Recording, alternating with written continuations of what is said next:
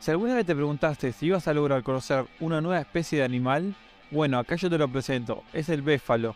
Esta es una cruza entre una vaca doméstica y un bisonte americano. Esta fue causada por eh, los ganaderos, ya que la carne de este animal contiene menos cantidad de grasa que la de todo el ganado bovino.